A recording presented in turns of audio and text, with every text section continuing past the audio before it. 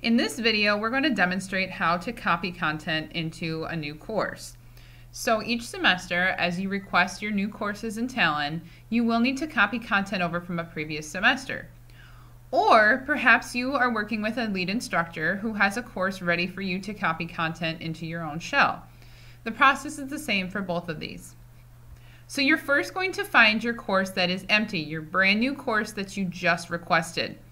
You're going to copy the content into the course that currently has no content. So I'm going to find the course. The course here I have is called Empty Course to Copy. And I'm going to click on it. And again, I'm going to ensure that this is my blank course. There is currently no content in this course. If there's already content in here, if you copy content in, you will get duplicates. I'm going to go to Course Admin.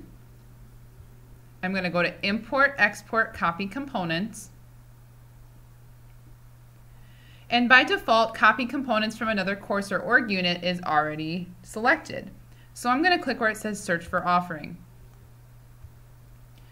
And I have two options here. I can search for a course name, or I can just click the magnifying glass icon, and it'll show a list of all my courses. Now, if I have a lot of courses in here, it's probably better just to do a search for a particular keyword. I'm going to find the course that I want to copy and I'm going to select the button next to it and click Add Selected. And then I'm going to come down to where it says Copy All Components. Note there is an option here to select components. That is an option if you have specific content you need to copy into a course. Um, but I would only recommend using that if you just have a small amount of content you need to copy over.